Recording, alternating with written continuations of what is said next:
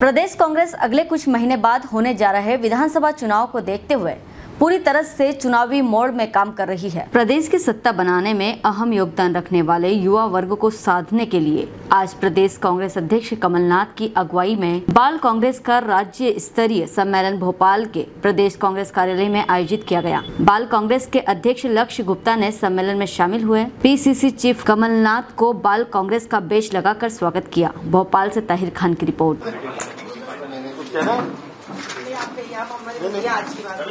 आप दस्ता देंगे सर शिला जी आप उनको कहना प्रेस को बोल दीजिए कोई दबाव से आ रही है कोई आपके मन मंशा से आ रही है मैं अपनी मर्ज़ी से आ रही हूँ क्यों आ रही है ये भी बता दीजिए थोड़ा सा बोल दीजिए आप बोलिए। मेरी कांग्रेस के प्रति आस्था है। देखिए, मेरे पिताजी ने मेरा नाम शीला रखा था। मेरे ससुर जी ने मेरे पति का नाम जवाहरलाल त्यागी रखा है। और मैंने अपनी बेटी का नाम शैलजा रखा है। और सबसे बड़ी बात है, देश में इस समय जो हालत है, कि देश की जो आंतरिक सुरक्षा है, वो है खतरे में, संविधान खतरे में है, आरक्षण खतरे में है। और ये सब इन सब समस्याओं से उभार सिर्फ़ कांग्रेस सकती है। और हमारे मुखिया अमरनाथ जी हैं। इनके नेतृत्व में मुझे विश्वास है कि आने वाले समय में जो भी है प्रदेश का, जो भी समस्याएँ हैं, और भी बहुत सारी जो ताकतें हैं, जो फिरका परस्ती लोग हैं, जो देश को पूरी तरह से कंगाल करने में और बर्बाद करने में लगे हैं, उनको आपके नेतृत्व से ज़रूर बनने का मौका मिलेगा। और रही बात तो आप हमारे मुखिया हैं, जो मुझे आदेश करेंगे, मैं अब आपका 40 साल का अनुभव है, पॉलिटिकल सेंटर में भी है, स्टेट में भी है, मैं तो कोई पॉलिटिकल घराने से तो हूँ नहीं, एक सामाजिक कार्यकर्ता के रूप में मानवर काशीराम साहब की विचारधारा से जुड़ी थी और मैंने इसी वजह से वहाँ काम किया था। मैं मुझे समझ में आ रहा है कि ये सब संभव वहाँ नहीं है इसलिए मैं आदरणीय कमलनाथ जी के माध्यम से मैं आज कांग्रेस हूँ। आप सबको बहुत बहुत धन्यवाद। राज्य स्तरीय बैठक रखी गई है। पिछले वर्ष नवंबर के माह में कमलनाथ जी ने उनके निवास पर ये बैठक रखी थी क्योंकि चार महीने हो चुके थे और बच्चों की वेकेशंस आ गई है। बाल कांग्रेस का जो एज ग्रुप है मेनली स्कूल्स और कोचिंग्स का एज ग्रुप है जब बच्चे 16 से 20 साल का जो है वो अधिकतर 11 twelfth college first year second year का एज ग्रुप है। चूँकि जनवरी फरवरी मार्च तीन महीने बच्चों की एग्ज़ाम रही ट्वेल्थ बोर्ड्स टेंथ बोर्ड्स तो हमने बच्चों को डिस्टर्ब नहीं किया था। इनफैक्ट मैं खुद अपनी एग्ज़ाम्स के लिए इंदौर में ही था। अब बच्चों की वेकेशंस आ चुकी है तो आगे कैसे काम करना है?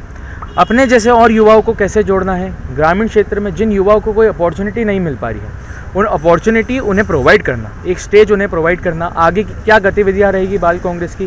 वो अपने युवाओं को कैसे जोड़ सकते हैं? और चूँकि अब चुनाव भी नज़दीक है, केवल पाँच से छः महीने चुनाव में बचे तो एक बेसिक वोटिंग अवेयरनेस युवाओं में जागरूक करना खुद का नाम वोटिंग लिस्ट में जुड़वाना अपने सदस्यों का नाम वोटिंग लिस्ट में जुड़वाना अपने घर परिवार में जो लोग बालिक इस साल बन रहे हैं उन लोगों का नाम वोटिंग लिस्ट में जुड़वाना इन सभी को लेकर आज ये बैठक रखी गई थी जिसमें कमलनाथ जी उपस्थित थे। कमलनाथ जी ने कई नए नए काम भी दिए बच्चों को बच्चों को प्रोत्साहित करा उन्हें मोटिवेट करा इसलिए आज ये बैठक रखी गई थी। तेईस के चुनाव में बाल कांग्रेस की क्या भूमिका रही? तेईस के चुनाव में मुख्य रूप से बाल कांग्रेस की यही भूमिका रही कि वह अपने जैसे लोगों का नाम सर्वप्रथम वोटिंग लिस्ट में जुड़वाए।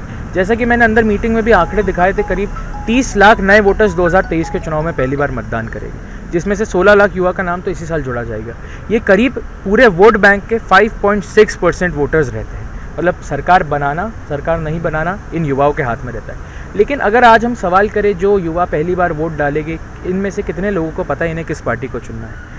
किस पार्टी ने भारत का निर्माण करा, किस पार्टी ने भारत के निर्माण में सहयोग करा, किस पार्टी ने भारत की आज़ादी में सहयोग करा, और कौन सी पार्टी इनके भविष्य के बारे में सोचती है? सिर्फ़ लड़ाती नहीं है, कौन सी पार्टी इनके भविष्य के बारे में सोचती है? इन युवाओं को इस चीज़ के लिए जागरूक करना, उन्हें सच्ची कहानियाँ बताना, सच्चाई से अवगत कराना बाल कांग्रेस का मुख्य उद्देश्य रहेगा। बेसहारा का सहारा बनना और बे की आवाज़ बनना ही बाल कांग्रेस का मुख्य उद्देश्य रहेगा। धन्यवाद। और यही बाल कांग्रेस।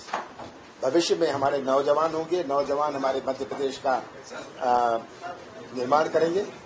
इनको अपना सही इतिहास मालूम होना चाहिए। इन्हें हमें रक्षा देनी है कि ये गुमराह ना हो जाए। बच्चे गलत रास्ते पर ना चले जाए। ये कोई राजनीतिक दल नहीं है। ये एक सांस्कृतिक दल है। ये दल है कि उनको सही जानकारी देश की देश के इतिहास की देश की संस्कृति की आ, देश के बारे में उन्हें मालूम हो चलो। किसने कहा था? अब देखिए ये वहाँ की उन मुझे नहीं पता उन्होंने क्या कहा था। पर मुझे ये पता है इस घटना के बारे में जो आज आया है।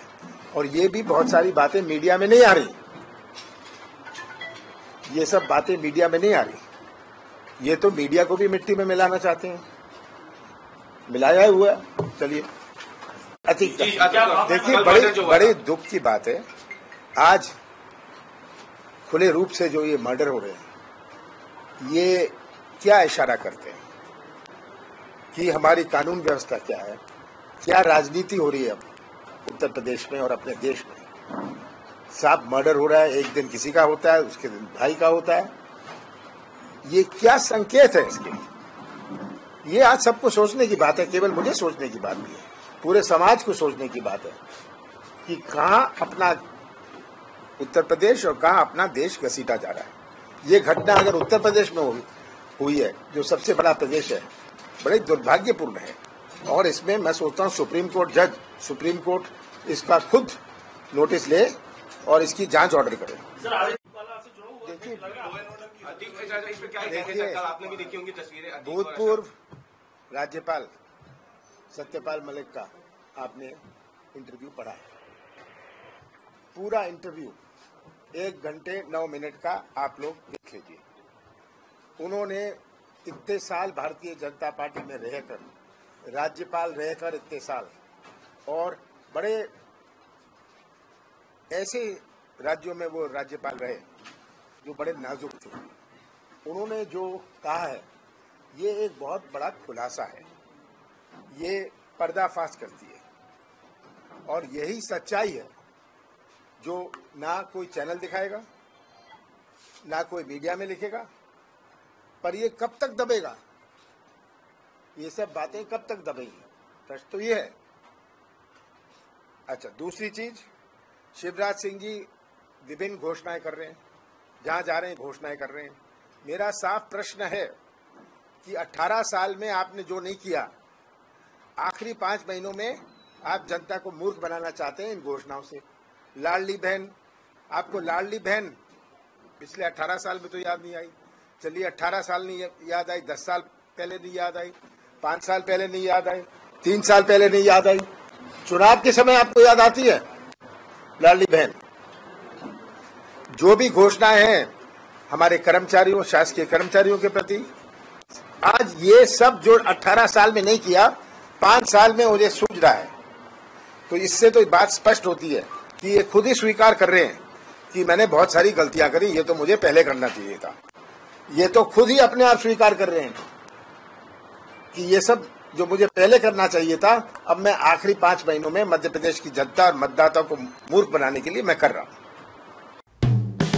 हेलो फ्रेंड्स आप देख रहे हैं हमारा channel S W twenty four news हमारे सारे वीडियो सबसे पहले देखने के लिए आप हमारे चैनल को सब्सक्राइब करें और पास में लगे बेल आइकोन को दबाना बिल्कुल भी ना भूलें।